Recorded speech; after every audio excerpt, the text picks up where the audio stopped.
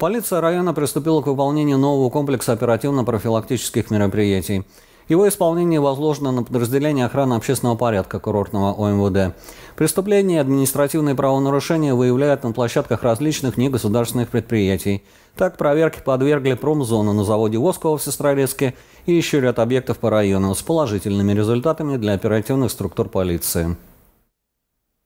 Самое основное это у нас выявление пресечения как преступления уголовной направленности, так и административной практики. Принесение службы обязательно, соблюдая меры личной безопасности, все вооружены, все экипированы, при общении с гражданами соблюдаем масочный режим. Три оперативные группы работали в течение всей ночи. Оперативно-профилактические мероприятия по профилактике и обеспечению общественного порядка были проведены в курортном районе. Э, на территории курортного района было проведено локально-профилактическое мероприятие, в ходе которого было задействовано 72 сотрудника полиции. Э, в ходе данного мероприятия э, были проверены места массового скопления граждан и также места массового скопления иностранных граждан.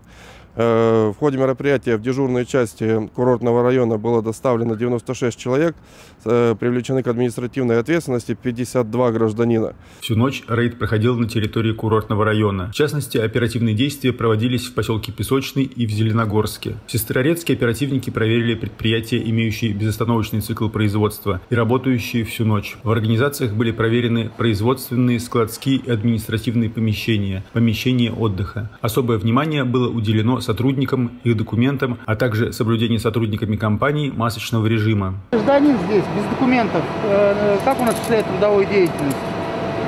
У них есть документы, а мы уже, я уже позвонила, что подъехали их начальство и с их документами показали. Понятно. Он сообщает нам, что он потерял документы ходе проведенных мероприятий на территории курортного района был выявлен гражданин, осуществлявший массовую постановку иностранных граждан на учет. В отношении его было возбуждено уголовное дело по статье 322 Уголовного кодекса Российской Федерации.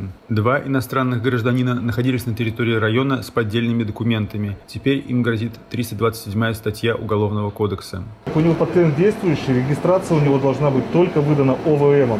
Данная регистрация сделана через МФЦ, ну она вообще никак она. Я понял. Уголовным розыском курортного района в ходе отработки уголовного дела была изъята одна единица огнестрельного оружия, которая сейчас находится на экспертизе. Также сотрудниками ГИБДД был выявлен один нетрезвый водитель, который впоследствии отказался от прохождения медицинского освидетельствования. Данные мероприятия будут проводиться на постоянной основе на территории района.